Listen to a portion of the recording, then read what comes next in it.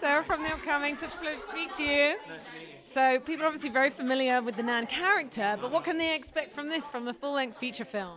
Um, mainly the backstory and, and how the Nan becomes the Nan and why the Nan is the way she is.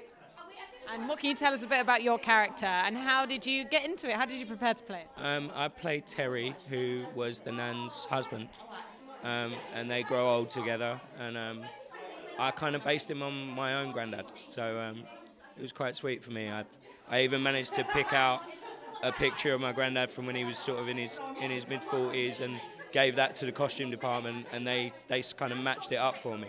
So there's a very like clear nod to my own granddad in it, which you know was great for me. And what is it about Catherine Tate that she's just such a brilliant comedian? She's invented so many different characters, and she's had such longevity in her career. She's come back time and time again. What is it about her that makes her such a comic genius?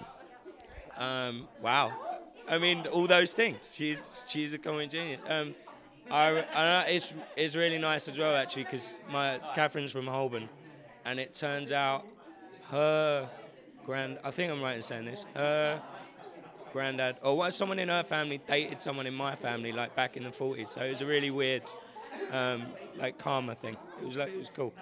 And what about the making of the film? It must have been such a laugh being on set. What were some of the highlights and challenges?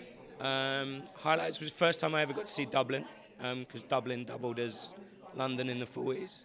Um, I made a really good friend in Parker.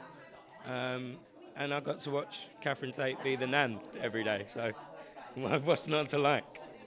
And it just feels like the boundaries of what's acceptable in comedy keep shifting, and there's a lot of chat always, especially with sketch shows. You know, we go back in time and we judge them through a modern lens. Um, do you think that's a positive thing, or do you think it's an inevitable thing? And what do you think about that?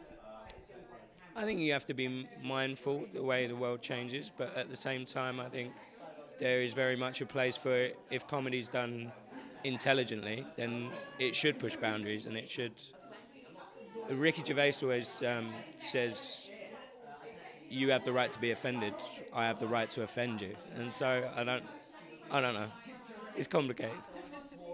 And you know, it is a tense moment in terms of what's going on in politics at the moment, but also feels like a great time for people to have a bit of comic relief, have a bit of escapism. They need a film like this right now we've all been trapped in our houses for two years and we're all just emerging and there's obviously loads of other horrible stuff going on at the moment.